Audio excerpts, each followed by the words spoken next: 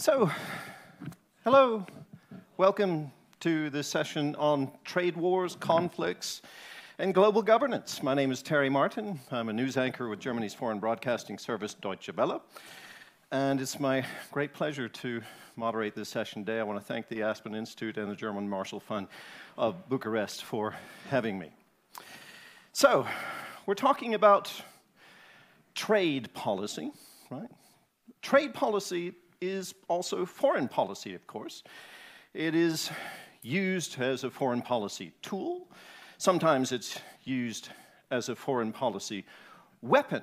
Uh, just ask anyone who lives in Russia or Iran when it comes to sanctions or tariffs and how these affect countries uh, and people and businesses who live there. So, trade policy is foreign policy, so we're going to be talking about that uh, over the next hour or so. I've been told to keep this a little shorter.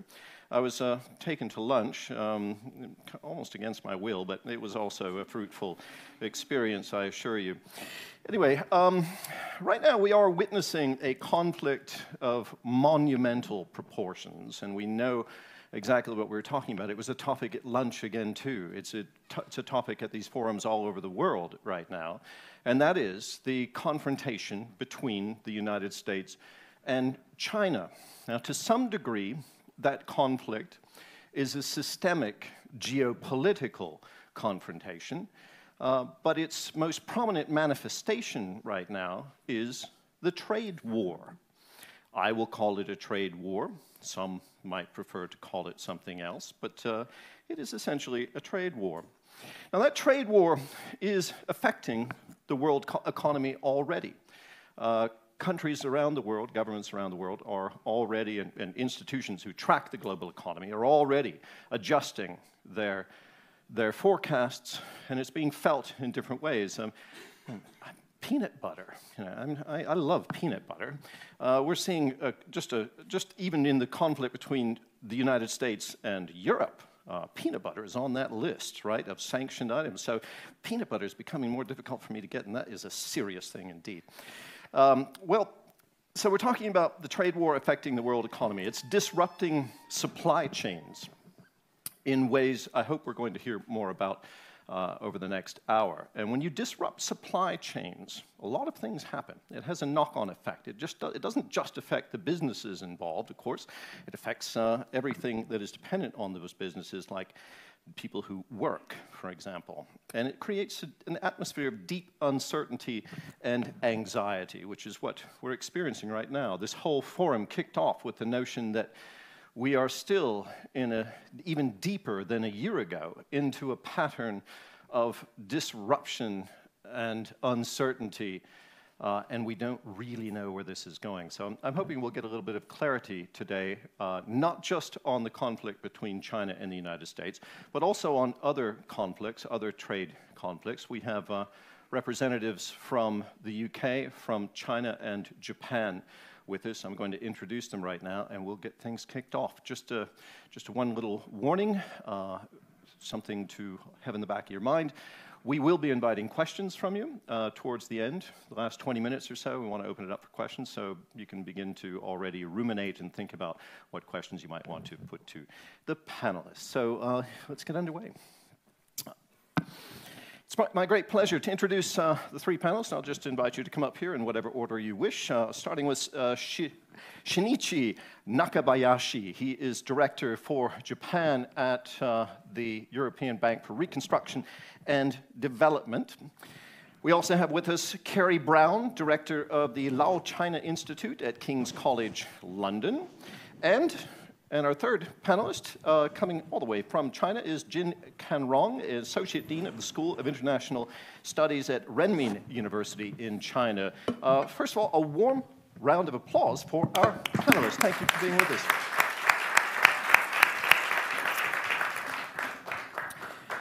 Now, we've had a bit of correspondence before we showed up here in Bucharest, and I, um, I, gave the panelists a few questions to reflect on.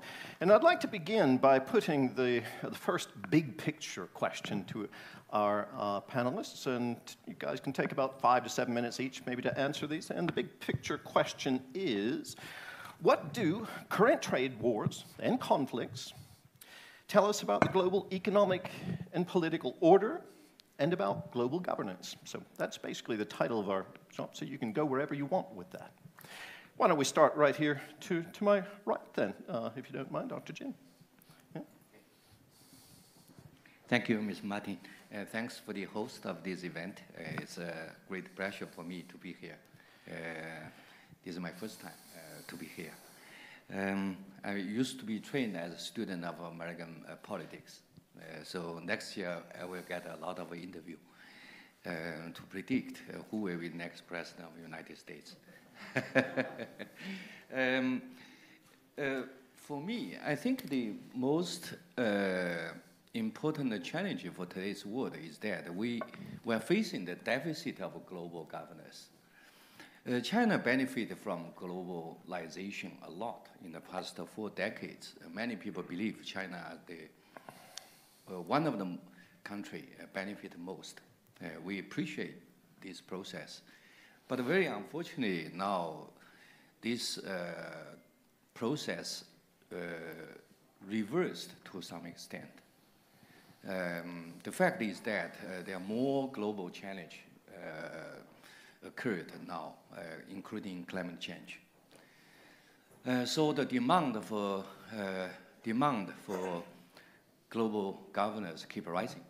But on the other side, the supply of global governance, uh, to some extent, it decreased. Uh, the one reason is that the U.S. don't want to offer that supply. U.S. still owns enough resources but become very selfish, right? The U.S. administration now dominant by, you know, nationalism, American first, buy America, hire America, just like, uh, you know, uh, third world um, political leader, right? So U.S. still owns resources, but they don't want to spend money. Uh, so U.S. becomes selfish, uh, and the EU EU still still uh, build very strong will to offer this uh, global governance, but EU has its problem, right? You you become weak after the Brexit. Um, so so that's the problem. used to be we have to say the world benefit from from the supply of global governance mainly from U.S. and EU, but now we see the supply side, they don't want to supply. China wants so, to so when you're talking about the supply, you're talking about global governance? Global so governance. They're not supplying, okay. Just want you, to be clear you, about that. You, you see the, the problem of logic, you know, demand keep rising and the supply very hesitate, right? Uh, China want to join in, uh, so we offer the One Belt, One Road initiative. But you guys very hesitate to support China. When you say right? you guys, you mean EU and the US. Okay. Okay. okay. Right? and uh, okay. some people even demoralize Belt and Road Initiative. That's ridiculous. That's irresponsible for the global governance. Right? So that's uh, one concern of mine, uh, the deficit of global governance. Uh, second concern definitely relating with U.S.-China relations. I have to say, now and in the future, the U.S.-China relations is most important bilateral type for China, right? We do uh, appreciate the benefit resulted from U.S.-China relations in the past uh, four decades after the normalization. We benefit a lot. We appreciate that. Uh, but unfortunately, U.S.-China relations will enter a quite long uh, bumpy period, at least last for one decade. We have to face in this new reality. Um, because U.S. now define China as a you know sort of revisionist country, and they consider uh, terrorism not that uh, important threat, but uh, you know competition among big powers are now ranking number one, and now they have two adversaries: Russia under the Putin the Great, and uh, China and our current leader, right? but from long-term viewpoint, they believe uh, their, their only adversary should be China, because Russia fell into so-called resources curve, re resources trap already, right? So from long-term viewpoint, Russia will be not that strong uh, economically. so they put China on the very top position of adversary. That's not good, no good for U.S.-China relations, right? And uh, as we know, U.S. people uh, easy to, they're not very good at thinking, you know. As for thinking, no good as a European uh, counterpart, but they are very good at action, right? So after they defined China as a revisionist country, uh, they immediately launched the trade war. Uh, actually, our uh, official media not use term trade war. We use term 贸易摩擦 trade friction. Uh, we are very cautious. Uh, we don't want to uh, exaggerate the, the, the, the, seriousness of the situation. so, so we see now the U.S.-China relations deteriorated since spring last year, right? but as for the trade friction or trade war, um, I don't worry that much. I tend to believe next month, when we have APEC summit in Chile, right? uh, we will have a partial deal. Uh, because what? Because one side China compromise a lot. Uh, China really don't want to have a trade war. So China did its best to avoid that. Uh, as I know, we compromised 80 percentage. Okay. But uh, the problem is on U.S. side, they want to have a 100 percentage deal, right? That's ridiculous. You know? they can never get that. Their choice is zero and 80, okay. right? And uh, I think uh, uh, at Chile, President Trump will accept an 80 percentage deal. Okay. Because uh, he need, uh, need uh, diplomatic victory. Actually, after three years ruling, he got nothing in foreign policy. You know, Dr. North Korea he failed, Iran failed, Venezuela failed, Syria failed, Ukraine failed zero, you know.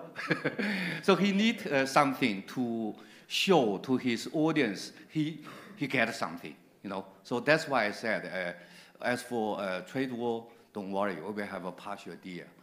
Uh, okay. But, thank you, thank you so much, Dr. Dr. Jin. I'm afraid I'm going to have to. Okay. Have to. We're going to come back to you. Don't worry. Okay. Okay. Um, okay. It's you. it's not you know this is going to be a discussion, so it's going to go around, and everybody will get uh, time to, to, to say. So just a, a, quick summary of what you had to say there. The um, so the, China is looking for, to Europe and the rest of the world for more global governance, also from the US, uh, but Europe is weak, uh, the US is selfish, and, uh, and China does see the prospect of a deal shaping up if the US will just back away from its 100% uh, demands.